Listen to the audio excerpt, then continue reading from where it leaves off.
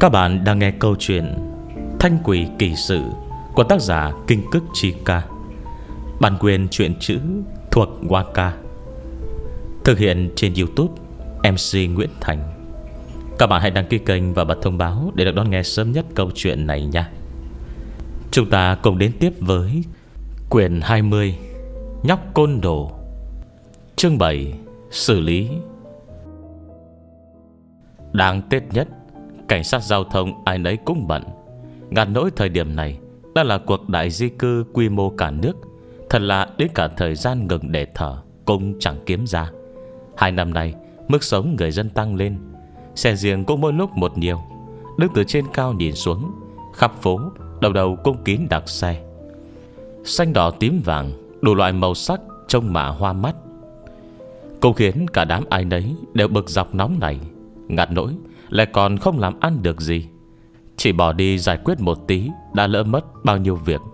Đây đấy, Vừa rồi lại nhận được cuộc điện thoại. Cả đám bọn họ chỉ đành ôm cục tức, Phi như bay tới xử lý tranh chấp. Tới nhìn thì Đúng là nhức đầu. Bất kể là cảnh sát dân sự Hay cảnh sát giao thông, Bình thường ghét nhất là xử lý những việc kiểu này.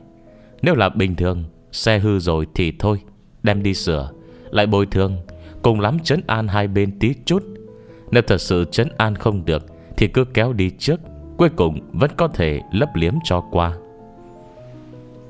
Nhưng kẻ gây chuyện lần này Là trẻ con, Còn là ngay giữa đường, Vậy thì chuyện khó giải quyết rồi. Nên lại gọi cho cảnh sát giao thông tới. À Không phải việc của bọn này. Thế thì gọi cảnh sát dân sự. Mệt mỏi cả buổi trời Đã khi Hà Thanh dẫn lộ lộ Và Phương Cần đi ra Cảnh sát khu vực cũng chỉ vừa mới đến. Cảnh sát là người ở ngay khu gần đây. Nói thật thì, Hết 10 vụ tranh chấp trong năm nay, Phải có tới 5 vụ Là dính tới nhóc béo này và mẹ nó, Khiến họ vừa thấy mặt Đã hãi. Giờ đến Tết còn không chịu thôi, Mệt quá đi mất. Cả đám sầu khổ, Đi người đàn bà Đang oang oang kêu khóc Và Trần Bác cũng giờ trò ăn vạ hùng hồn. Nói với vị chủ xe trung niên kia Bằng vẻ đồng tình. Chuyện này của anh Thật ra cũng dễ giải quyết. Hoặc là tìm cơ quan tới đánh giá tổn thất lần này. Hoặc là tới cửa tiệm 4S lấy hóa đơn. Theo lý, họ phải nên bồi thường toàn bộ. Vì chủ xe nọ giật mình, Cảnh sát nói là, Theo lý E đằng sau sẽ còn lời trái ngược. Nhưng chữ nhưng này Cuối cùng vẫn phải nói ra. Viên cảnh sát kéo hắn sang một bên. Nhưng vấn đề lại chính là ở đây. Tất cả những chuyện bồi thường giải quyết này ấy Đều phải dựa trên một tiền đề. Đó là các anh phải có chứng cớ Bây giờ chỉ bằng lời của một bên các anh. Nghe nói Có một đứa bé giúp xác nhận, Nhưng dù gì, Nó cũng còn quá nhỏ, Không thể coi là chứng cứ được. Anh cũng thấy đấy, Bây giờ người ta sống chết không thừa nhận, Hai anh lại không lấy ra được chứng cứ gì khác. Chuyện này không dễ xử. Nghe tiếng la lối dùm beng mãi, Không dừng của hai mẹ con nọ. Viên cảnh sát không nhịn được xoa tay. Không thì thế này đi. Hai bên bàn bạc với nhau. Xem các anh có thể chấp nhận cây giá thế nào. Bọn tôi sẽ đứng giữa hòa giải. Giờ đang Tết nhất, Bồi thường được thì làm luôn cho nhanh. Cũng tránh phải tới cục cảnh sát nhiều lần Mà mệt thân. Lại làm lỡ bao nhiêu chuyện. Thật ra, Những người quen thuộc với cảnh sát đều biết, Xưa nay Họ luôn nói chuyện kiểu nước đôi với cả hai bên. Nếu thật sự có chuyện cần tìm Tinh dạ vẫn chẳng có mấy tác dụng. Nhưng một số thời điểm, Không có họ, Lại không thể giải quyết được vấn đề. Lúc này, Tuy có nghi ngờ với cách thức giải quyết của cảnh sát, Vì chủ xe vẫn chẳng còn cách nào Ngoài nghe theo đề nghị. Dù sao luật pháp cũng quy định như thế, Chuyện đến nước này rồi, Họ không còn biện pháp nào khác cả. Như bên hắn dễ nói chuyện Bên mẹ con Trần Bác Lại cứ sống chết không thừa nhận. Sự việc không có một tiến triển nào. Vì chủ xe này Không biết ăn nói như Phương Cần, Chỉ mới tranh cãi vài câu Đã bị mẹ con nọ Làm cho tức tới muốn học máu. Lúc này, Phương Cần đi ra Vị chủ xe kia lập tức hướng ánh mắt mong đợi, Nhìn sang như nhìn một vị chúa cứu thế. Phương Cần cũng nghẹt mặt. Sao bên ngoài náo nhiệt dữ vậy? Mẹ Trần Bác ngồi bệt dưới đất, Cái ao phao cọ vào nền đường, Khiến sức ra mấy vết không nhỏ. Lớp trang điểm trên mặt bà ta Không phải loại trang điểm có như không, Đang thịnh hành Mà loè loẹt như sơn tường. Lớp phấn trắng dày cộp Bị nước mắt làm nhòe nhoẹt lem nhem, Thoạt trông lô lăng mà còn rất đáng sợ. Còn với bộ đồ đỏ cam Khi ngồi dưới đất, Vòng eo thùng phi đùn lớp áo căng ra, Khiến thoạt trông như Một cây phao cấp cứu cơ lớn. Còn Trần Bác Có lẽ đã quen, Nên lúc này Nó cứ nằm dưới đất rên rỉ, Mãi mà không chịu chuyển chỗ. Bị nó chọc vào người, Nó lăn tròn một vòng trên đất, Miệng ha to kêu gào, Nhưng nghe rõ ràng, Nước mặt cũng chẳng có một giọt chảy ra. Hạ Thanh Trông mà không khỏi âm thầm lắc đầu. Diễn xuất này, Đánh giá kém, Đã không còn nhan sắc, Còn không diễn sâu. Thầy thêm một người trong cuộc xuất hiện Đám cảnh sát lại nhức óc đau đầu.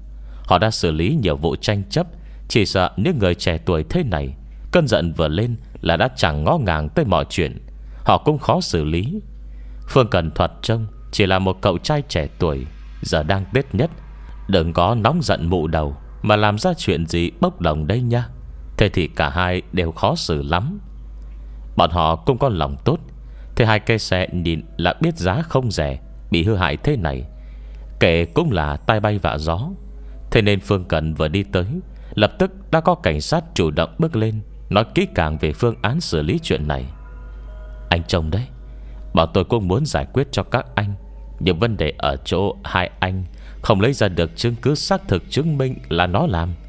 Vừa rồi tôi đã hỏi đứa bé này rồi, Nó vẫn còn nhỏ, Chưa tới 11 tuổi nữa. Theo luật thì chưa phải người có năng lực chịu trách nhiệm hình sự. Đâu làm gì được nó. Bọn tôi cũng không thể bắt ra một đứa nhỏ như vậy được, đúng không? Viên cảnh sát nói rất nghiêm túc, Trình bày rõ ràng từng điều.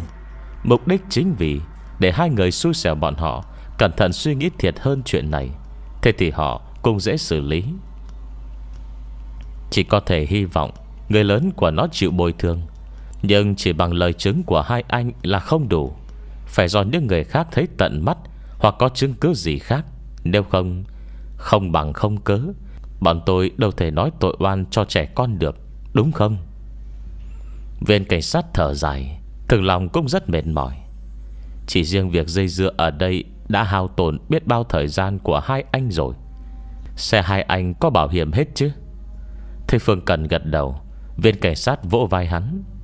Bảo nhận lúc khi công ty bảo hiểm chưa tới, Hai anh nghĩ xem Còn có chứng cứ hoặc nhân chứng nào khác không? Nói xong câu này, Hắn nhìn sang lộ lộ bên cạnh, Cười mà như mếu. Còn lời đứa bé này Không thể tính được. Anh cũng thấy đấy, Nó còn quá nhỏ.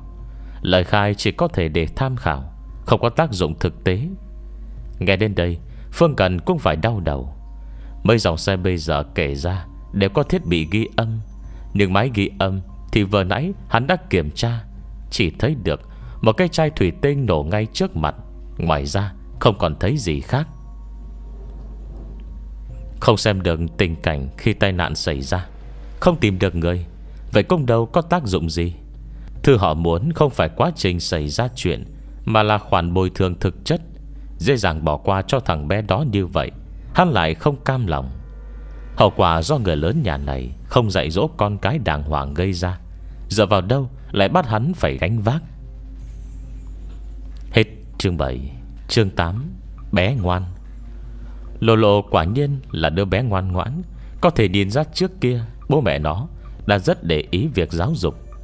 Dù rằng có thù hận sinh tử, Nhưng lúc này, Khi nhìn Trần Bác, Tuy tức giận, Nhưng nó vẫn giữ được lý trí, Duy trì được hồn thể nguyên vẹn. Trông vậy, Hà Thanh lại thấy sót hơn. Trong 3 năm qua, Ngày ngày đối mặt với kẻ thù của mình Mà vẫn không lầm đường lạc lối không sinh ý nghĩ muốn trả thù. Khi gặp chuyện, Lại can đảm đứng ra làm chứng. Có thể thấy, Quả là một bé ngoan vợ hiền lành, lại trượng nghĩa. Đứa trẻ thế này đúng là đáng tiếc. Trong lúc cô đang than thở, Sự việc đã chìm trong thế rằng co. Mấy viên cảnh sát không ngừng liếc đồng hồ, Hình như đã hơi mất kiên nhẫn. Ở đây có một khu du lịch sinh thái. Phương Cần và vị chủ xe trung niên đậu xe ở đây rồi xuống ăn cơm với mấy tài xế khác. Ai ngờ lúc đi ra, Xe đà tanh bành như thế này. Nói cách khác, Họ đều không nhìn thấy là do ai gây ra. Còn người duy nhất chỉ ra được thủ phạm, Lộ lộ. Một mặt vì nó còn quá nhỏ tuổi. Độ đáng tin trong lời khai không cao. Mặt khác, Phương Cần cũng vì thân phận của nó Nên có hơi lo lắng. Không dám để nó lộ diện quá nhiều Trước mặt mọi người để tránh lộ tẩy. Trời mới biết Hắn vừa mới trải qua chuyện gì? Đến tận lúc này rồi, Khi nhớ tới thân phận lộ lộ Mà tim vẫn cứ thình thịch mất kiểm soát, Chẳng biết lúc ban nãy Đã chúng ta gì Mà lại tiếp thu dễ dàng như vậy. Khỉ thật, Phương Cần cắn răng. Lớn thế này rồi, Còn chưa tận mắt thấy ma bao giờ đâu. Một đám người gào thét lum loa Hệt như cách chợ, Hà Thanh Trông mà bực mình. Nhất là bà mẹ của Trần Bác. Giọng nói đúng là ngút tận mây xanh. Bà ta không ngừng la lối om sòm. Câu nào câu nấy, Khẳng định con mình không gây ra chuyện ấy. Không có chứng cớ Dù Trần Bác vẫn thường xuyên gây chuyện quậy phá kiểu vậy, Cũng không thể định tội. Hai bên cãi nhau om tỏi, Bầu không khí mới lắng được một chút ít, Tức thì náo nhiệt cả lên. Nhưng vì đã thấy quá khứ khi trước, Lúc này Hà Thanh thật sự không nhịn được, liền hỏi Phương Cần. Không còn chứng cứ khác à? Phương Cần gật đầu chán ngán. Trong hàng mày nhíu chặt của Hà Thanh, Phương Cần giải thích. Thật ra từ từ cha Vẫn tra ra được. Dù sao, lệnh cấm pháo vẫn còn. Dây pháo đốt rồi, Vẫn còn vết tích để tra được. Để cô xem đấy. Hắn chỉ ra dòng xe tấp đập qua lại trên đường. Xe cộ nối dài, không thấy điểm cuối. Giờ đang Tết nhất, Chẳng ai muốn phí thời gian ở lại nơi này. Cũng không có thời gian để phí. Nhưng đâu thể xe mới lái ra, Xe hỏng lái về được. Nếu không nói cho ra ngô ra khoai, Phải lái cây xe đắt tanh bành này về, Làm sao tôi cam tâm cho được chứ? Trên đường cái, Tên nhất thế này Chẳng có ai muốn ở lại lâu. Ngay như vị chủ xe trung niên kia, Mới bấy đến giờ, Đã nhận hết mấy cuộc điện thoại từ người nhà. Lâu này, hắn giận đến xì khói Danh danh là một con trâu điên. Đang chờ được hút người chút giận. Nhưng có thể làm gì được? Đối phương là trẻ con, Còn có bà mẹ cỡ này, Biết đánh làm sao? Đánh không đánh được, Nói lý, nói không xong, Đúng là Hà Thành cũng hiểu, Biết tết nhất có ai mà không đôn nóng về nhà. Giờ đột nhiên xuất hiện chuyện thế này, Tâm trạng chắc chắn không vui được. Ngặt nỗi, Đối phương còn là trẻ con, Muốn đánh một trận cũng không đánh được. Đúng là nghẹn một cục tức. Cô yên lặng nghe Phương Cần nói hết, Đoạn gật đầu. Ngồi xổm xuống vô lưng lộ lộ, Cất giọng ôn tồn. Em là bé ngoan thật thà, Không như thằng bé Trần Bác kia. Chẳng những làm chuyện xấu Mà còn nói dối. Nhìn vào đôi mắt sáng ngời của lộ lộ, Cô nói tiếp. Nhưng em là bé ngoan, Không thể bị thù hận chi phối. Giang hồn thể như em rất dễ bị ác niệm lây nhiễm. Nên giờ ngoan nhé. Chị ra chút giận giúp em một lần được không? Lô lô gật đầu. Một lúc sau, lại lo lắng hỏi lại. Chỉ chút giận giúp em, Vậy có thể bị tổn hại gì không? Em còn gặp được bố mẹ nữa không? Nụ cười trên mặt Hà Thanh đậm hơn, Gật đầu khẳng định. Được chứ. Cây đó kéo Phương Cần sang, Cất giọng sai bảo. Đi, Tới trước mặt Trần Bác, Cẩn thận hỏi xem nó đã làm chuyện gì? Còn nữa Nhớ nhắc đến chuyện lộ lộ 3 năm trước. Chỉ cần nó lên tiếng, Các anh sẽ có chứng cứ. Phương Cần sừng sốt, Nhìn Hà Thanh với vẻ khó tin. Trông dáng vẻ thằng nhóc đó, Nó có thể nói thật không? Vừa rồi đã hỏi không biết bao nhiêu lần rồi, Đều uổng công cả. Hà Thanh cười lạnh. Không phải tuổi nhỏ Thì hại đến mạng người Là có thể coi như không chuyện gì. Tôi bắt nó nói thật, nó sẽ phải nói thật. Đi đi. Hỏi nhiều nhiều vào. Chuyện liên quan tới lộ lộ Nhất định sẽ được sáng tỏ. Giọng điệu cô lúc này qua mức nghiêm khắc, Nét mặt lại quá sức lạnh lùng. Gương mặt đã có vẻ nóng nảy của Phương Cần Đột nhiên nguội lạnh, Vừa gật đầu như bổ củi, Miệng đáp À được được được, Tôi sẽ đi ngay. Mẹ Trần Bác tuy ngồi dưới đất, Nhưng nét mặt hết sức cảnh giác. Vợ thấy Phương Cần định tiếp xúc với con mình, Đã lập tức đứng bật dậy, Che con trai ra sau. Như gà mẹ bảo vệ con, Cảnh giác hỏi, Cậu định làm gì? Phương Cần dừng bước, Nói với viên cảnh sát đứng cạnh, Có thể ngăn mẹ đưa bé lại không? Tôi muốn hỏi nó vài câu. Hai bên có tranh chấp, Chuyện thế này cũng là nên làm. Về cảnh sát quan sát sắc mặt Phương Cần, Gật đầu ngay. Cô lập Trần Bác ra một nơi an toàn, Rồi mới ra hiệu cho Phương Cần bắt đầu hỏi, Học theo Hà Thanh Phương Cần ngồi quỳ xuống ngang tầm mắt Trần Bác.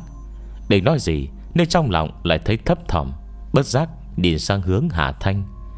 Điều khiến hắn phải thất vọng chính là Hà Thanh lại không nhìn hắn. Giờ phút này, Hắn chỉ đành cố gượng đâm lao theo lao. Bản thân hắn không phải người dịu dàng gì. Bây giờ cách xa Hà Thanh, Bản tính để lộ hết Huông hồ còn sẵn tâm trạng khó chịu, Nên câu hỏi không hề nề nang. Này Nhóc bé, Cháu tên Trần Bác đúng không? Nhóc béo cũng là đứa có tự trọng.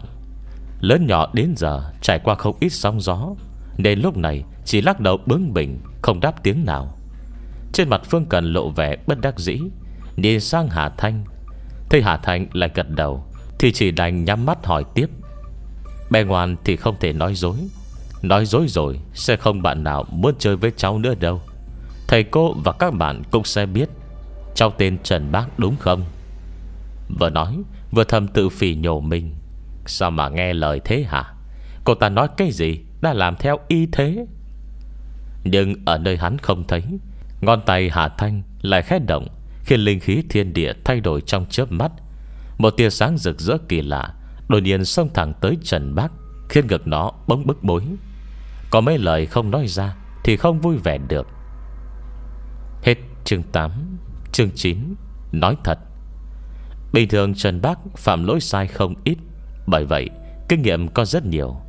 Nó có kỹ năng gia truyền do mẹ truyền thụ, Rằng đối phó với tất cả những người lớn trẻ con tìm tới, Ai cũng chỉ cần dùng một chiêu, Đó chính là Sống chết không thừa nhận. Bây giờ nổ hư xe người ta Rồi nó còn nhỏ tuổi Vân Đa hiểu được lợi hại. Không thấy cảnh sát đã tới rồi đấy sao? Vậy lại càng không thể thừa nhận. Mấy viên cảnh sát cũng nhận ra điều này. Biết do tính nó Nên mới nhắc nhở Phương Cần Cho nên hy vọng. Mà Phương Cần lúc này Đang ngồi quỳ dưới đất Đôi mặt với Trần Bác, Mặt mày xám xịt, Lăn qua lăn lại trước mặt, Trong lòng lại không ngừng xì vào bản thân. Đồ ngu nhà mày, Cô ta nói cái gì cũng nghe. Hỏi bao nhiêu lần Cũng không thấy thằng béo này đáp một tiếng, Chắc chắn là không định trả lời rồi. Mẹ kiếp, Đúng là hồ báo trưởng mẫu giáo mà. Cháu tên Trần Bác đúng không? Đây là câu hỏi hắn dùng để bắt đầu. Vốn nghi có thể nhóc béo này Sẽ không trả lời. Nhưng không ngờ sau chốc lát yên lặng ngắn ngủi, Bông thằng bé đặt tay lên ngực mình, Há miệng thốt ra, Phải. Nói rồi, Phương Cần mừng dân Có hy vọng. Lúc này, Trong lòng hắn không còn nghi ngờ trách móc Hà Thanh nữa. Mà đầy ngập lòng tin. Ý chí chiến đấu sôi sục Nhìn nhóc béo trước mắt, Lại ngó sang ánh mắt nóng như lửa, Đang nhìn mình chằm chằm của mẹ nó, Quay đầu lờ đi. Trưa nay, Xe tôi và xe của chú kia, Do ai làm đổ Mặt Trần Bác đỏ lên, Cơ thể đôi con đứng yên tại chỗ. Chỉ nhìn dáng người thôi, Thấy phải chừng 13-14 tuổi. Nhưng trên thực tế, Năm nay đó chỉ mới chưa đầy 11 Trẻ con mới 11-12 tuổi, Thư nên biết đã biết cả rồi. Thế nhưng suốt hơn 10 năm cuộc đời Đã qua, Nó vẫn luôn được mẹ chiều chuộng không coi ai ra gì. Làm việc chẳng suy nghĩ, Bình thường muốn thích gì Cứ làm cái đó. Chỉ cần không thừa nhận Là sẽ chẳng có gì xảy ra. Nhưng hôm nay, Ai bảo nó gặp phải Hà Thanh? Lúc này, Trong lòng nó đang đấu tranh dữ dội. Một mặt biết mình không nên nói rõ, Mặt khác lại cảm thấy vô cùng uất nghẹn, Không nói không vui. Mà ở cách đó không xa, Hà Thành cũng nghiêm mắt. Tên béo này, Ý chí kiên định quá nhỉ. Để nghĩ lại, Nếu ý chí không kiên định, Chắc chắn trước kia làm chuyện xấu Đã bị người ta bắt được chui rồi. Xét từ phương diện nào đó, Bố mẹ Trần Bác cũng giỏi dạy con phết. Tuy nhiên, Hà Thanh cười lạnh, Ý chí có kiên cường cũng phải xem dùng vào đâu nếu dùng để che đậy những tội xấu bình thường mình gây ra, Việc đó quyết không thể được. Mới như vậy, Đầu ngón tay đã có tiếng lách tách vang lên. Linh lực bắn ra toàn bộ, Hóa thành vô vàn điểm sáng mắt thường không thể nhìn thấy. Thong thả, trôi đến chỗ Trần Bác. Mà bên này, Phương Cần thấy mãi, Nhưng thằng bé trước mặt Vẫn không nói gì, Đã hơi nản lòng. Nhưng ngày lúc dần thấy thất vọng, Không ngờ thằng nhóc hồ báo trước mắt lại dễ dàng khai nhận như thế. Là cháu làm Lòng hắn mừng rơn Vì chủ xe trung niên đứng cạnh Cũng khó nén nỗi kích động. Đứng ở đây lâu như vậy Cuối cùng thằng bé này đã chịu nói chuyện rồi. Vội vàng gọi mấy viên cảnh sát tới gần Kích động la lớn Cảnh sát, cảnh sát! Mà Phương Cần cũng vội Nhân lúc hỏi tới. Cháu làm đồ Đàn ông đàn an như hắn Qua nóng ruột Mà thật sự là giờ đang Tết nhất Chẳng ai muốn lái cây xe hỏng về nhà hết. Mà xe hỏng thì thôi đi, Nhưng lại còn không lấy được một lời giải thích. Thời gian lề mề ở đây, Đúng là một ngày Mà không khác gì một năm. Giờ thằng nhóc quậy phá này Chịu thừa nhận, Hắn thực sự nước mắt đầm đìa Có thể khóc ngay được. Mà Phương Cần cũng vội nhân lúc Cháu làm xe nổ, Làm như thế nào? Chưa cho thằng bé kịp nói chuyện, Bà mẹ đang ngồi yên tĩnh cách đó không xa. Đã lập tức kêu lên. Trần bác, Trần bác Còn nói vơ vẩn gì vậy? Đáng tiếc bà ta Không biết con trai mình lúc này Đã bị người ta dùng linh lực khuấy động suy nghĩ. Tim đập thình thịch Không khống chế được bản thân. Trần bác tàng lờ lời mẹ mình nói Miệng lưỡi tơi tấp Khai sạch chuyện hồi trưa? Buổi trưa ăn cơm xong đi chơi. Thuê xe hai người họ đậu ở đây Trông rõ mới rõ sang Nên mới muốn nổ thử xem sao. Nói tới đây, Hình như có dòng nước nhảy chảy khỏi mũi nó, Nên lại vội vàng ngửa cổ hít mạnh, Hít ngược nước chảy trở vào. Đồng lùng chưa từng thử xem Bỏ pháo vào trong chai rượu ném lên xe Thì có nổ được không? Thế nên thử thôi. Nó nói nghe rất thản nhiên, Lời nói của một đứa trẻ ngô nghê Mà lại khiến lòng người rét buốt. 11-12 tuổi rồi, Đâu phải 1-2 tuổi nữa. Cái gì nên làm? Cái gì không nên làm, Chẳng lẽ không biết hay sao? Mà khiến người ta sợ hãi chính là, Nghe lời Trần Bác Do rằng nó biết việc này là sai, Nhưng trong suy nghĩ của nó Nó muốn làm thì cứ làm thôi. Dù sao cũng còn nhỏ tuổi, Lại không có ai nhìn thấy, Càng không có ai tới báo thủ Chỉ cần kiên quyết không thừa nhận Là sẽ không ai tới gây chuyện, Việc gì mà không làm? Bố mẹ nó phải có logic tư duy cỡ nào Mới có thể nuôi dạy được đứa con như thế cơ chứ? Lại đã thực hiện bao nhiêu lần rồi Mới tạo thành cái tính không kiêng rẻ sợ hãi như thế? Phương Cần và đám người hong hớt, Còn gì không hiểu nữa. Nhưng lúc này trong lòng Lại có rảnh rỗi nghĩ rằng, Đây là con ruột đúng không? Không phải kẻ thù kiếp trước đây chứ? Người đứng hóng hớt xung quanh Đều là người quen với nhà Trần Bác. Nó thật lòng, Cái thằng nhóc quậy phá như Trần Bác này con nhà ai mà chưa từng bị nó quậy phá. Như là hàng xóm, Có ai mà ngờ được Suy nghĩ của cả nhà đấy Lại là như thế này. Ai nấy xôn xao, Hà Thành cũng sững sờ, Ây chà. Chai rượu xanh kia bản thân Đã được làm bằng thủy tinh dày. Dù sao không nhét pháo bên trong, Chỉ ném chai không thôi Đã đủ để khiến kính xe vỡ nát. Và lại miệng chai nhỏ như vậy, Tại sao lúc trước đó Nhét pháo vào lại không nổ luôn thằng bé này đi. Phương Cần lại càng khỏi phải nói, Cái xe mới con của hắn. Cũng bởi vì trông quá đẹp quá sang, Cũng bởi vì thằng bé này Muốn thử cảm giác nổ xe, Nên phải chịu tay bay vạ gió như thế. Hắn đã nụ cười âm u, Chậm rãi hỏi, Vậy một chai là nổ luôn? Trần Bác lườm lại, Đương nhiên không phải rồi. Một chai nổ được một xe chứ mấy, Phải hai chai. Đạch mở Phương Cần còn cố nhịn được, Nhưng vị chủ xe bên cạnh Đã không kiềm được cơn giận, Hắn xông lên, Định bụng bất chấp mọi thứ, Tận cho thằng danh con này một trận. May mà mấy anh cảnh sát đang ngăn lại, Nếu không có lý cũng khó nói. Phương Cần lạnh mắt, Nói với mấy viên cảnh sát, Mọi người nghe rõ ràng rồi chứ? Tôi không hề uy hiếp dụ dỗ, Chứng cứ này đã đủ chưa? Vậy là đủ rồi Đủ rồi. Cảnh sát gật đầu như bổ củi, Cũng coi như đã tỉnh táo. Trinh miệng người trong cuộc đã thừa nhận, Họ xử lý thế nào Giờ cũng được danh chính ngôn thuận. Khi đó nên bồi thường thì bồi thường, Họ cũng bớt phải dây dưa với gia đình này, Đỡ mệt không biết bao nhiêu. Nhưng Phương Cần Vẫn không chịu bỏ qua. Nhớ tới ánh mắt dưng dưng lệ của lộ lộ, Bất giác hắn lại hỏi Cho còn dùng pháo làm chuyện xấu gì khác không? Có làm tổn thương ai nữa không? Hết chương 9 Chương 10 Tin bùng nổ. Chuyện khác, Pháo. Trần Bác nhíu mày. Cái này khó tính lắm. Vừa lầm bẩm, Nó lại giở ngón tay đếm đếm. Năm nay, Nổ tường nhà Trần Hồng Lực tầng 3 Năm ngoái Tới nhà văn văn chơi Nổ bồn cầu nhà đó. Năm kia, Nổ dây điện nhà bà Hàn. Năm kia nữa những người xung quanh Đều sôi nổi xì sầm Thằng bé này, Năm rồi công thoát nước nhà tôi, Bị đổ hỏng cả. Bồn cầu phải mua mới. Bảo mẹ nó bồi thường, Mà mẹ nó giờ cho ăn vạ, Quyết không nhận. Cuối cùng không còn cách nào. Làm hàng xóm nhiều năm như vậy, Tôi chỉ đành tự coi như mình xui. Ây cha Bà Hàn à Vụ hỏa hoạn của nhà bà năm xưa Không phải cũng do nguyên nhân này đấy chứ. Tôi đã bảo rồi Tết nhất nhà bà không có ai ở. Làm sao có thể dò điện dẫn tới cháy được chứ? Đúng đúng đúng đúng. Vụ cháy lần đó cũng lớn lắm cơ.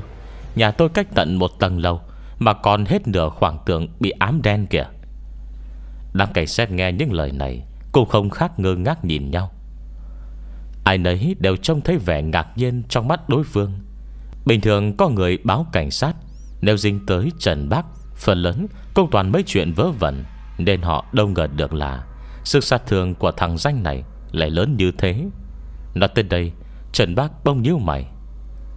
Năm kia nữa thế nào? Phương Cần vội vàng hỏi. Cách đó không xa, Lộ lộ vẫn đang đứng bên Hà Thanh, Yên lặng chờ đợi. Trần Bác nghĩ đi nghĩ lại, Thật sự thời gian đã quá lâu rồi. Nhưng may nó là trẻ con, Chỉ nhớ tốt nên mới nhớ ra được. Lúc này Sao mặt nó bông nháy mắt trắng bệch. Nhưng chẳng biết nghĩ tới điều gì, Lại bông chốc thả lòng Năm kia nữa, Năm kia nữa, Thì có nổ một đứa nhóc ở nhà vệ sinh công cộng. Nổ một đứa nhóc? Lần này, Người nói chuyện không phải Phương Cần, Mà là viên cảnh sát nọ. Lệnh cấm pháo năm nay rất nghiêm, Thế nên họ vừa nghe nói, Có chuyện này đã lập tức cảnh giác. Còn về mấy năm trước, Cảnh sát quay sang hỏi người Đã làm lâu hơn bên cạnh. Anh Trần Em nhớ hình như mấy năm rồi Khu chúng ta chưa xảy ra chuyện gì mà. Ba năm trước, Đã có chuyện như thế à? Về cảnh sát lắc đầu trầm giọng nói. Không có. Ba năm trước, Hắn cẩn thận suy nghĩ. Ba năm trước, Ở đây không có tai nạn gì liên quan tới pháo nổ. Chỉ có một đứa trẻ đi ngang qua, Đột ngột phát bệnh tim qua đời ngay khu này. Nghe nói là vì bị kích thích. Giờ lúc đó, người bắn pháo không ít.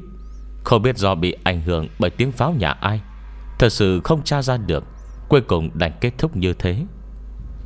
Từ từ đa nào, Bệnh tim, Kích thích.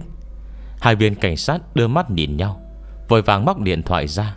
Mà lúc này, Phương Cần đã hận nghiến răng nghiến lợi, Nổ một đứa nhóc. Nó nghe nhẹ nhàng thản nhiên thật đấy, Chẳng khác gì Bóp chết một con kiến cả. Nhưng người khác không biết Chẳng lẽ hắn lại không rõ hay sao? Lộ lộ, Nó là một sinh mệnh bằng xương bằng thịt cơ mà. Lại còn nhỏ tuổi như thế. Bởi vì bệnh tật Xuân mấy năm cuộc đời, Nó không được đi học. Cũng chưa từng chơi chung với đứa bạn nào. Ngoan ngoãn nghe lời như thế, Này tới trong miệng Trần Bác Lại thành đứa nhóc Mà nó thản nhiên tổn thương. Năm đó, Trần Bác đã có 7-8 tuổi. Nó có biết mình đã làm gì không vậy? Có biết là trên tay mình Đã dính tới một mạng người không? Đứa trẻ như vậy Đã không thể coi là trẻ con nữa. Nó là tội phạm giết người. Phương Cẩn đau đớn ghi đến, Mà cách đó không xa, Ngón tay Hà Thanh thoáng dừng lại. Không nghĩ tới là giáo dục đứa trẻ này Nhận được còn tồi tệ hơn điều họ nghĩ. Thái độ rừng rưng như vậy, Suy nghĩ chẳng thèm để ý tới mạng người như thế. Ồ, hi hi hi. Trần Bác lại hít mũi, Thản nhiên nói tiếp. Chứ gì? Thằng đó rõ là ngu. Đứng ngay bên cạnh nhà vệ sinh, Ai biết nó lại chết nhát như thế chứ. Mới ném một quả bom tới Mà đã sợ chết rồi. Nó tên đây, Nó còn bìa mai khinh thường. Đồ thỏ đế! Tao giết mày! Nó mới dứt lời, Phương Cần đã lao sọc tới, Hốc mắt đỏ lòm chỉ muốn lấy mạng nó ngay. Trong lúc kinh hoàng, Trần Bác La toáng lên rồi hất hải chạy trốn. May mà cảnh sát đang đứng ngay bên cạnh, Có thể mới can được Phương Cẩn đang điên cuồng. Làm gì thế hả? Anh cũng muốn giết người đúng không? Hai viên cảnh sát ôm chặt người Phương Cẩn Trong lời nói có ý nhắc nhở. Hà Thanh nhướng mày, Nhanh chóng vô tay một cái như không. Phương Cẩn đang dãy dục lập tức Thấy đầu gối nguội ngắt, Bây giờ mới tỉnh táo lại. Mới rồi, Đã có chuyện gì vậy? Rõ ràng hắn chỉ mới quen lộ lộ hôm nay, Tại sao mới rồi lại tức giận đến vậy? Hắn quay đầu giải thích với cảnh sát. Mấy anh, Việc này đâu thể trách tôi được. Mấy anh cũng nghe rồi đấy, Thằng bé này mới bao tuổi cơ chứ? Hả? Ba năm trước, Nó còn chưa tới 8 tuổi nữa kìa. Chưa tới 8 tuổi, Đã dám ném pháo vào người ta, Làm chết người còn rừng rưng như vậy. Mẹ kiếp, Nếu đó mà là con tôi về nhà tôi sẽ dìm nó vào hồ nước Cho chết luôn cho xong ấy. Vì chủ xe trung niên bên cạnh lúc này Lại kinh hãi hít sâu. Hắn vội quệt mớ mồ hôi lạnh Ướt đầm trên chán Lòng vẫn chưa thôi hoảng sợ. May mà lúc thằng danh này đập xe, Mình không có mặt. Nếu không, Ngồi như chai rượu đập vào đầu Thì biết làm sao. Lại nhìn sang Trần bắc bên cạnh, Hắn lắc đầu. Lúc này chỉ cảm thấy may mắn mà những cảnh sát đè Phương Cần lại, Cô biết những lời này Chỉ là lời tức giận, Chứ bây giờ có ai mà không thương con như bảo bối. Cái tính này của Trần Bác Cũng không phải do bố mẹ chiều quá mà thành ư. Cảnh sát cũng thở dài Vô vai hắn an ủi. Anh bình tĩnh lại tí đi. Mà lúc này, Cảm nhận được sự chỉ trích và sợ hãi của mọi người xung quanh, Trần Bác đã tỉnh hồn Bất giang thấy hơi sợ sợ. Giết người phải đền mạng. Việc này nó biết. Cho dù luật pháp bảo vệ người chưa thành niên, Chắc chắn nó Cũng không thể thoát thân hoàn toàn. Nó, Tại sao nó lại vì sướng miệng nhất thời Mà khai tuốt thế chứ? Nó nhìn mấy viên cảnh sát, Lại phát hiện cơ hội tất cả Đều đang bận rộn kiểm chứng chuyện 3 năm trước. Ánh mắt nhìn nó chăm chăm, Có vẻ rất không ổn. Đến cùng Trần Bác Vẫn là trẻ con. Nó đưa mắt nhìn xung quanh Cuối cùng thấy bà mẹ Đang mặt mày tái trắng của mình kêu lớn. Mẹ Mẹ cứu con với. Không phải mẹ nói là không có chứng cứ Thì không sao hả? Ờ, Còn nói thằng đó vốn có bệnh Cho dù bây giờ không chết Thì về sau à, cũng không sống được lâu. Mẹ Mẹ Mẹ nói chuyện đi chứ. Chờ những lời hoảng hốt sơ ý này Mặt mẹ Trần Bác đã tái xanh Mồ hôi hột đổ từng giọt tí tách Chỉ chốc lát đã bôi sạch lớp trang điểm. Mấy cảnh sát nhỏ giọng bàn tán nhau một hồi, Cuối cùng đi tới nói, Ngại quá, Chắc hôm nay khoản bồi thường của các vị Không giải quyết được rồi. Còn làm phiền hai anh tới đồn giúp lấy lời khai, Sẽ nhanh thôi. Nhiều nhất chỉ một giờ, Không ảnh hưởng tới thời gian của các anh về nhà. Việc liên quan tới mạng người, Không ai còn để ý tới những thứ khác được nữa, Vì chủ xe trung niên và Phương Cẩn đưa mắt nhìn nhau. Bây giờ mới gật đầu. Còn hai người Cũng làm phiền đi theo bọn tôi một chuyến. Mấy anh cảnh sát quay lại, Nói với Trần Bác và mẹ nó Đang thẫn thờ. Mà sau lưng đám đông, Hà Thành nắm tay lộ lộ, Sờ đầu nó, Dịu dàng hỏi, Thế nào, Có vui không? Hết chương 10 Chương 11 Tôi biết. Người xấu bị phanh phui, Bị dẫn về đồn rồi. Lộ lộ có vui không? Hạ Thành vuốt mái tóc mềm của lộ lộ hỏi nhỏ. Lộ lộ ngẩng đầu Non chị gái đáng tin trước mắt. Bông chớp chớp mắt Bìm cười bảo, Vui ạ. À? Lộ lộ ngoan quá. Cứ nhìn nó là tim Hà Thanh đã mềm lại. Có hận nó không? Lộ lộ lắc đầu. Mới đầu thì ghét lắm mà, Nhưng sau đó Sau đó lại không còn thấy gì nữa. Trên gương mặt phung phính của nó Là vẻ thản nhiên, Không hợp lứa tuổi. Sắc mặt thì vẫn tái xanh như thế, Nhưng giọng điệu lại bình thản phong khoáng Đến độ khiến Hà Thanh phải ngạc nhiên. Bất chợt lộ lộ, Lại nắm lấy ngón tay cô. Bàn tay nho nhỏ của nó mềm và lành lạnh, Thoáng xúc cảm cưng cứng, Khó nhận rõ. Em biết chị đã giúp em rất nhiều. Cảm ơn chị nha. Nhưng bây giờ, em không còn hận cậu ta nữa. Nói đoạn, Thằng bé lại thở dài, Rất ra dáng, ông cụ non. Đợi cậu ta đi ra, Hy vọng sẽ không làm chuyện xấu nữa. Giọng điệu nó thản nhiên mà chín chắn. Hà Thanh nghe chỉ cảm thấy vô cùng chói tai. Trong lòng cô dâng lên một cảm giác khó nói rõ.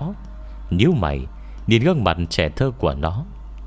Em nói, Chờ nó đi ra, Là có ý gì? Lộ lộ nhách môi cười, Có vẻ ngượng ngùng Và hiểu thấu một cách đáng yêu. Trần Bác sẽ không ngồi tù, Đúng không ạ? Đột nhiên Hà Thanh không biết nói gì. Mới đầu khi em biến thành thế này, Bố mẹ em đã buồn lắm. Chẳng đêm nào được ngủ yên giấc cả. Mẹ em thì cứ khóc mãi, Nên em giận lắm. Đã muốn Trần Bắc Phải trả giá thật lớn.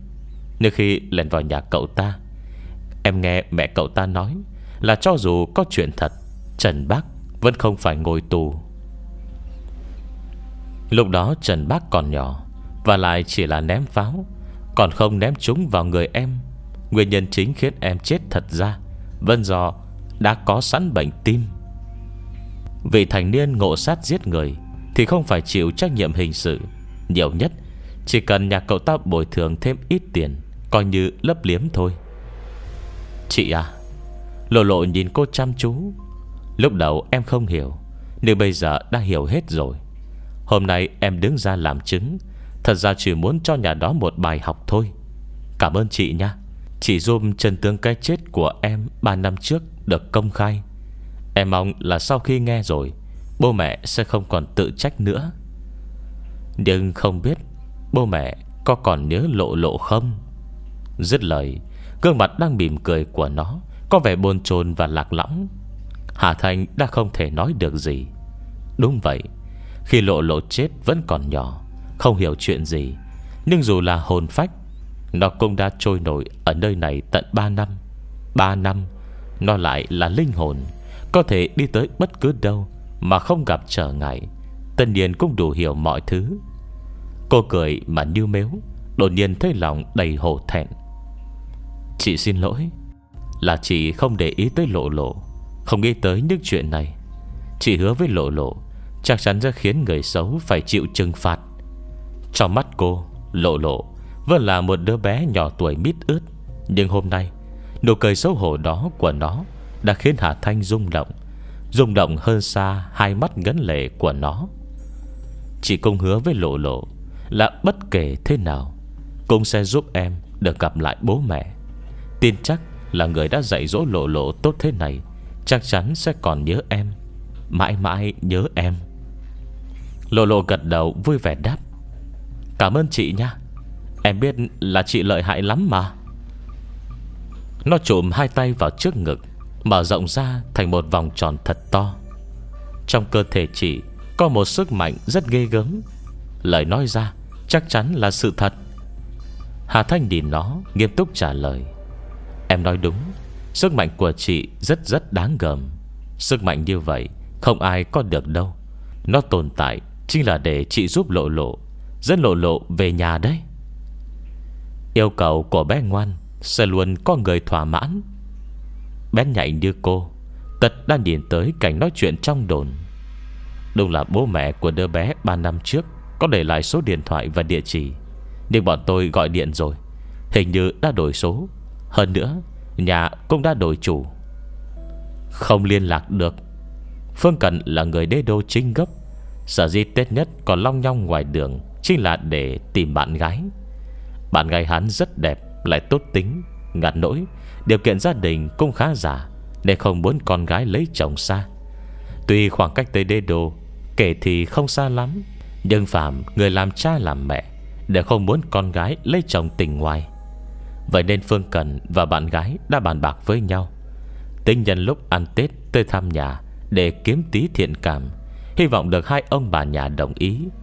Nghe nói năm nay, Anh trai và chị dâu đang ở nước ngoài của cô ấy Cũng sẽ trở lại. Nên đến lúc này, Để gặp mặt một lần. Nhưng là, Phương Cần nhìn cái xe đắt tanh bành của mình, Thật sự khóc không ra nước mắt. Cái xe này mua, Chính là để dùng cho chuyến chúc Tết lần này. Giờ chẳng lẽ nói dối người ta Là xe mui trần hay sao? Khi đi ra khỏi đồn cảnh sát, Trời đã tối sầm. Thế mà mấy tay cảnh sát kia còn dám thề thốt, Nói nhiều nhất, Chỉ cần mất một giờ đồng hồ. Trên thực tế, Tính cả thời gian công ty bảo hiểm tới lấy chứng cứ, Rồi phân chia trách nhiệm, Đã là 4 giờ rưỡi. 4 giờ rưỡi mùa đông, Trời đã tối om om rồi. Phương Cần héo hắt trở về xe. Điện thoại di động cũng hết pin, Còn chưa kịp báo cáo với bạn gái nữa. Đang lúc buồn giàu Đã thấy đằng sau xe, Có thứ gì phát ra tiếng gầm gừ. Là ai? Hắn cảnh giác kêu lên. Đã thấy từ đằng đuôi xe Bông có một cái đầu chó đen thùi lùi ló ra. Gâu! Phương Cần lập tức hiểu ra. Trong cốp sau xe hắn, Chuẩn bị rất nhiều thịt cá loại tốt. Còn chó này nhất định Đã ngửi được mùi mà mò tới. Đang định dọa nó mấy câu, Đã thấy con chó đen trước mắt Đột nhiên lao ra, Sủa điên cuồng với trung tâm cứu trợ bên cạnh.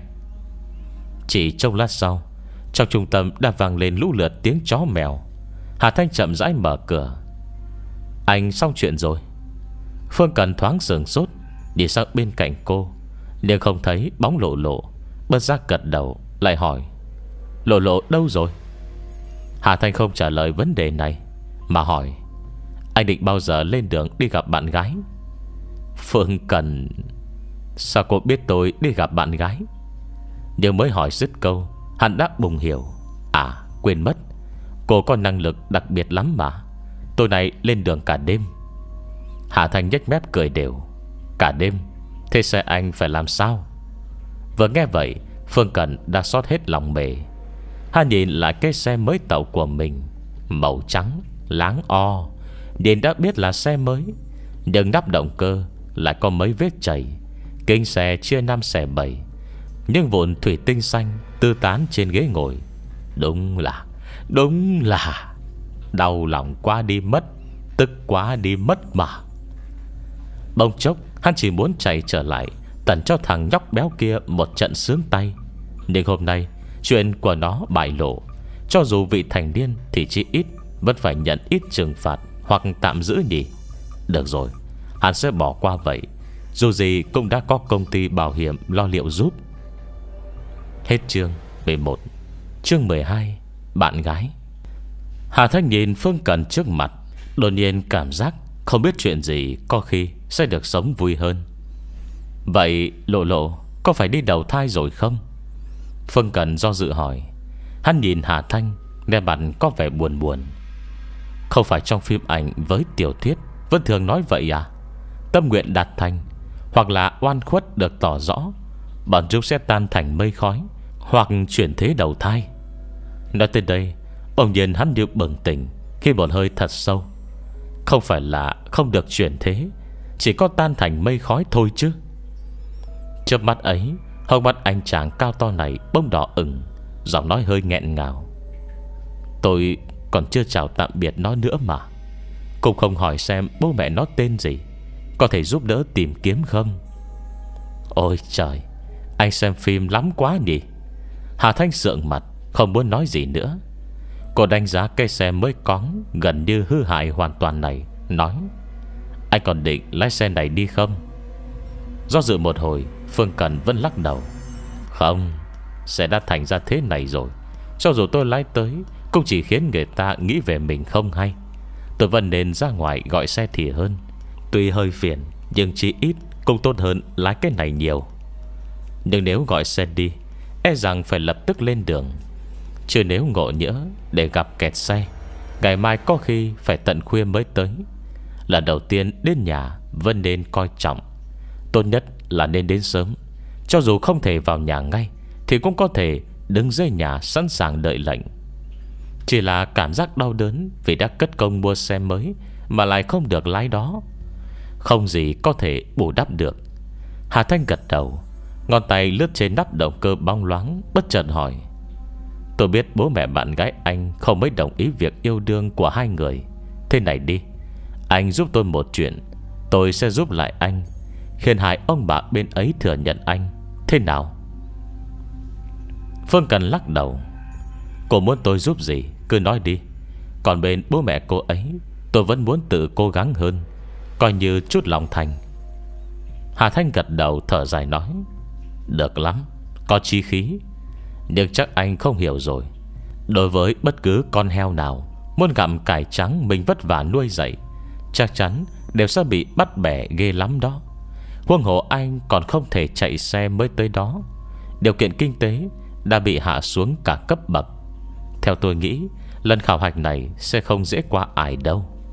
Nên là, Vẫn cứ để tôi giúp anh thì hơn. Phương Cần cũng do dự Hắn không có kinh nghiệm. Nghe Hà Thanh nói, Cũng khó tránh lo lắng. Cuối cùng vẫn không cưỡng lại được sự cám dỗ. Gật đầu đồng ý. Được, Thế thì cảm ơn cô. Có việc gì cần tôi cứ việc nói. Hà Thanh khẽ mỉm cười. Không vội. Để tôi xử lý cây xe của anh tí đã. Đảm bảo có thể lái tới nơi. Hẻ Một suy nghĩ khó tin phút chốc trỗi dậy Trong đầu Phương Cần. Hắn nhìn Hà Thanh. Hà Thanh cũng nhìn hắn. Bây giờ mới nhớ ra Là người trước mặt này có năng lực hơn hẳn Những người bình thường. Nó không chừng, Thật sự có thủ đoạn thần tiên gì Có thể giúp xe mình tốt lại thì sao? Thế nên gật đầu lia lịa Nép người gọn sang một bên. Vẻ mừng rỡ và mong đợi Trong mắt hắn rõ ràng như vậy. Dù không nói lời nào, Hà Thanh vẫn cảm nhận được Chuyện hắn đang tưởng tượng tới. Đáng tiếc Mấy cái thủ đoạn thần tiên không dưng mà có kia, Hắn chắc chắn phải thất vọng rồi. Trong ánh mắt chờ mong của Phương Cần Hà Thanh đi tới trước xe, Ngón tay chập lại thành đao, Lướt soàn soạt mấy cái. Cùng với tiếng vàng của kính thủy tinh rơi xuống, Toàn bộ vết nứt dạn trên kính xe trước đó đã biến mất. Hoặc phải nói là Toàn bộ lớp kính đã biến mất. Cô phổi tay, Mắt nhìn Phương Cần Nụ cười trên mặt Phương Cần dần cứng lại. Chậm dai xoay đầu, Hỏi với vẻ không dám tin. Thế là xong rồi. Xong rồi đó. Hà Thanh nhịn cười, Cố trả lời với vẻ bình thản. Nhưng Nhưng xe này Xe này phải lái thế nào? Hà Thanh trưng vẻ mặt khó hiểu. Sao mà không lái được? Xe mui trần, Trông phong cách phải biết ấy chứ. Đúng, phong cách thật. Không có kính xe. Đúng là nhiều phong thần. Phương Cần ỉu xìu đáp. Cuối cùng Hà Thanh không nhịn được bật cười. Được rồi được rồi. Không đùa anh nữa. Cứ yên tâm, lái nó đi. Không sao hết. Nói đoạn, liền vươn tay búng nhẹ vào xe. Chỉ trong chớp nhoáng, Trên chỗ ngồi trong xe, Những mảnh kinh vỡ lớn nhỏ lụn vụn khắp nơi, Bông như những mảnh sắt Bị nam châm hấp dẫn, Cùng lúc tụ tập lại vào nhau. Tạo thành một giải thủy tinh dài Bay thẳng ra ngoài. Wow! Phương Cần trông mà mê mẩn. Đây mới đúng là thủ đoạn thần tiên hắn nghĩ tới. Cô gái trước mắt này Chắc chắn là cao nhân tu đạo Ẩn mình trong nhân thế. Hà Thanh! Tất cả biến thủy tinh Đều bị Hà Thanh dùng linh lực Bỏ hết vào thùng rác. Thế mà bên cạnh có bao nhiêu xe tấp nập qua lại, Nhưng không một ai nhận ra chuyện này. Phương Cần nhìn khoang xe đã sạch sẽ, Thật sự vô cùng ngạc nhiên. Nhưng thế vẫn chưa hết. Hai ngón trỏ Hà Thanh ngoắc vào nhau. Đầu ngón tay nhanh chóng vẽ lên không trung, Nhưng về sáng màu trắng bạc ngoằn ngoèo. Rồi hai tay bỗng búng nhẹ. Nhưng đường phủ văn trắng thong thả, Trôi đến trên chiếc xe Như được gió đưa đi. Nhưng chưa chờ Phương Cần Kịp dán mắt lại gần nghiên cứu, Phủ văn kia đã bóng bật tâm Sau mấy hồi chớp lóe. Mà khi Phương Cần ngẩng đầu nhìn lên, Á, Xe của hắn, Xe của hắn thật sự đã trở về dáng vẻ ban đầu. Hắn mừng rơn bước tới, Vuốt trước sờ sau, Dán sát mắt vào cửa kính, Nhưng bất kể là sờ hay nhẹ nhàng gõ đấm, Cái cảm giác lạnh lẽo, Lại cứng chắc đó Thật sự không hề khác gì kính thủy tinh thật Hà Thành khép mỉm cười. Một biện pháp che mắt thôi, Nhiều nhất có thể giữ được 3 ngày. Nên ấy à Sau khi tới nhà bạn gái Anh vẫn nên sớm quay lại Mang xe đi sửa. Phương Cần vội gật đầu. Sau chốc lát do dự Bông hắn lại một cái thật kính cẩn. Đại sư Xin hỏi cô còn nhận đồ đệ không? Có yêu cầu gì không? À, Cô nhìn tôi thử xem. Tôi thấy tư chất của mình ờ, cũng ổn lắm đấy. Hạ Thanh Củ lạc giòn tan. Cô sượng mặt, vô tình lừa dối. Tuổi lớn quá, Không nhận. À Tuy không hợp cảnh lắm, Nhưng hắn vẫn muốn nói một câu. Ta sinh, quân chưa sinh. Quân sinh ta đã già. Hạ Thanh vỗ tay, Tiện thể ném cho Phương Cận Một gói giấy nhỏ. Mang theo cái này, Trưa mai khi đến nhà bạn gái, Thì đưa nó cho bạn gái anh xem. Hà Thanh khẽ mỉm cười. Sau đó, Tâm nguyện của anh sẽ đạt thành. Phương Cần siết chặt túi giấy Không thể thấy gì bên trong kia. Do dự hỏi Đại sư Cô sẽ không đùa dai bây tôi đấy chứ? Hạ Thanh Sau chốc lát yên lặng. Đại sư Đại sư Cô đừng đi mà. À, Tôi chỉ hỏi vậy thôi mà. Tại tôi lo quá. Đại sư ờ, Đùa thôi mà. Hết chương 12 Chương 13 Duyên. Phương Cần mang theo cõi lòng đầy mong đợi và bồn chồn Ngồi trên ghế lái. Ngay bên cạnh, Tòa nhà đó chính là nhà bạn gái hắn. Hắn soi gương trải lại tóc, Lại vuốt mặt một cái thật mạnh. Kế đó, khi chuẩn bị đứng dậy, Lại không yên lòng sờ thử lên kính xe. Sang nhận nó vẫn còn nguyên vẹn, Rồi mới vuốt lại gói giấy nhỏ trong ví tiền. Hít sâu một hơi, Rồi chậm rãi xuống xe. Bạn gái hắn đang đứng ngay bên ngoài, Không chớp mắt. Nhìn động tác của hắn. Sau đó, Vào lúc hắn xuống xe, Bông thình lình nói một câu. Đừng lo lắng quá, Con dâu xấu Cũng phải gặp bố mẹ chồng thôi. Phương Cần nghiêng đầu nhìn sang Hầm hè nói. Em chờ đấy. Bạn gái khoanh tay đứng hiên ngang, Tùm tìm cười không nói gì. Phương Cần nuốt ngụm máu già, Sắp học lên xuống bụng, Yên lặng rất nước mắt. Bạn gái hắn tên Đới Nhu. Song tuy tên Nhu Tính cách lại chẳng dịu dàng chút nào. Quả phải là Nữ hán tử phiên bản thực tế. Đấy mà xem, Vừa mở cốp sau xe, Thấy mấy món đồ Phương Cần mang theo. Đời Nhu hài lòng gật đầu. Ừm, May mà anh có tí đầu óc, Qua chọn theo được đấy. Nói rồi đã tiên phong, Xách hai thùng dầu, Leo lên tầng 2 Hai thùng dầu. Phương Cần câm nín, Nhìn mớ thuốc lá rượu nọ kia trong cốp. Loạt soạt sách lên Rồi ton hót chạy theo lên tầng. Trong thang máy Nghi chỉ chốc nữa Sẽ ra mắt bố mẹ vợ tương lai. Hàn Vân cố cứu vãn. Nhu nhu, Hai chúng ta đổi đồ đi nhá. Đơi nhu dừng dưng vung tay. Không sao hết, Có thang máy mà, Cũng đâu cần tốn sức. Đổi cái gì mà đổi, Chỉ bằng cách cẳng tay cẳng chân tong teo của anh. Cẳng tay cẳng chân tong teo. Phương Cần cao 1m78 Không thể coi là thấp được. Là nghe tới đới nhu, Cao có 1m6 Trọng lượng tiêu chuẩn 48kg Cũng chẳng biết tay chân ai mới teo hơn đây. Nhưng nói thì nói thế, Biểu hiện ngoài mặt Phương Cần Vẫn hệt bé kiều nhỏ, Ngoan ngoãn nghe lời. Thôi để anh sách đi Dòng này nặng, Ngồi nhớ lát gặp để bố mẹ em thấy, Lại nghĩ anh không chăm bạn gái. Có việc nặng, vứt hết cho em thì sao? Đời nhu nghĩ đi nghĩ lại, Cũng đúng, Được rồi. Anh xanh hai thùng dầu, Em cầm mơ rượu với thuốc này. Cuối cùng đã êm xuôi, Trong lòng Phương Cần cũng tạm yên ổn. Đến cửa nhà, Người ra mở cửa chính là mẹ vợ tương lai. Đây là một bà lão Trông chừng 60 tuổi. Tuy ăn mặc gọn gàng đẹp đẽ, Nhưng mặt mũi hốc hác gầy gò, Đôi mắt còn hơi sưng. Trông cảm xúc có vẻ không tốt lắm. Phương Cần thầm giật mình. Bà Lao kín đáo quan sát hắn, Gương mặt nặn ra một nụ cười ngượng ngạo. Phương Cần tới rồi hả? Nào, ngồi vào đi. Phương Cần lên tinh thần, Cảnh giác ngồi xuống sofa, Bó tay bó chân, Chỉ sợ có chỗ nào làm không tốt Mà khiến người ta không hài lòng. Đời nhu lén trọng hắn, Nói, Đừng lo lắng Mẹ em không nhằm vào anh đâu. Nhưng mà cứ thời điểm này trong năm, Tâm trạng mẹ lại không được tốt. Lúc này, Anh trai chị dâu của Đới nhu Cũng đã đi xuống.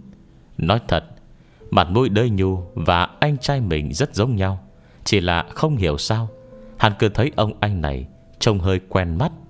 Nghe nói năm nay, Người anh này mới có hơn 30 Thế mà tóc đã hai màu. Còn chị dâu đới nhu, Tuy ăn mặc nền nã nhưng mặt mũi cũng rất tiểu tụy. Giờ phút này, chẳng rõ tại sao. Tuy nụ cười rất gượng, Nhưng hắn lại có thể nhìn ra họ, Không nhằm vào mình.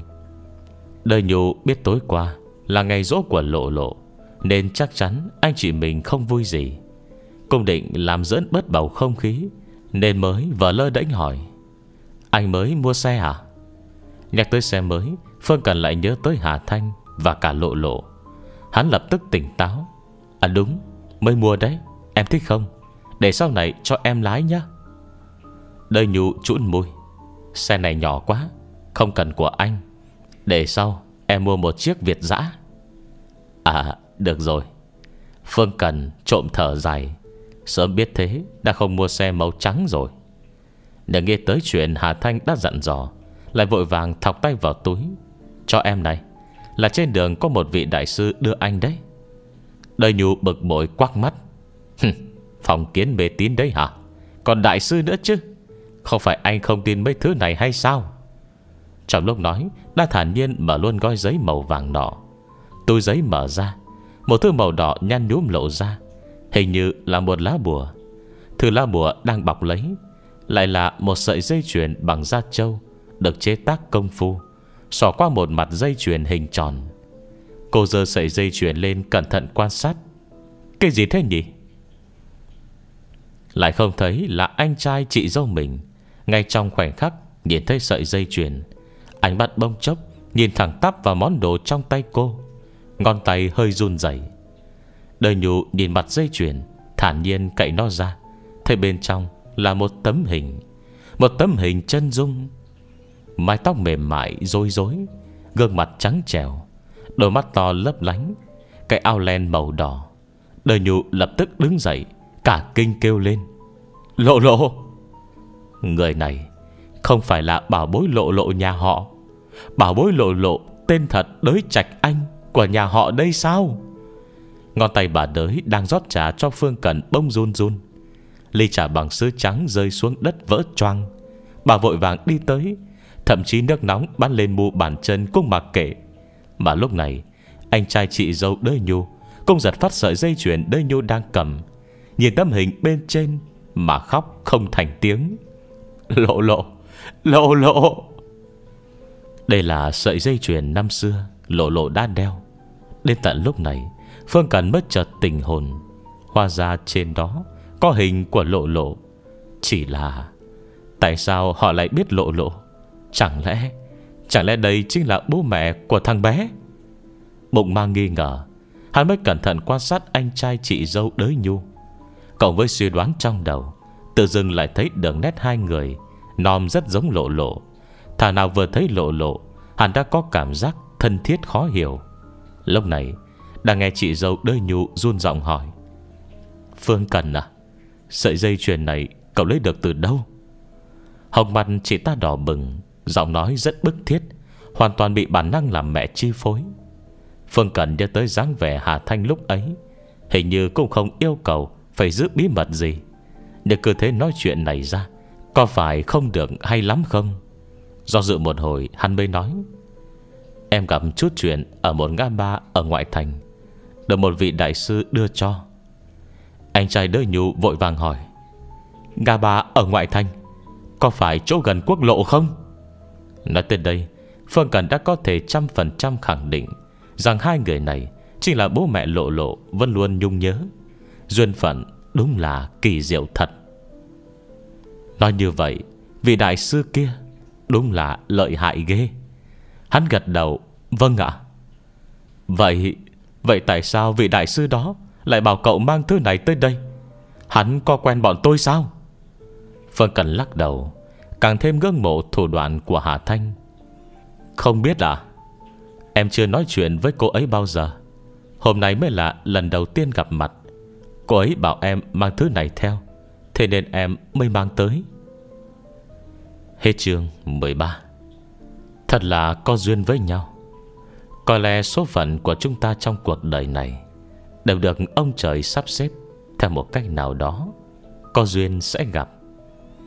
Hết chương 13 Kết thúc phần đọc của ngày hôm nay. Hồi sau sẽ có nội dung gì, Chúng ta sẽ cùng đón nghe sau nha. Đừng quên đăng ký kênh và bật thông báo Để được đón nghe sớm nhất những phần tiếp theo. Xin chào và hẹn gặp lại.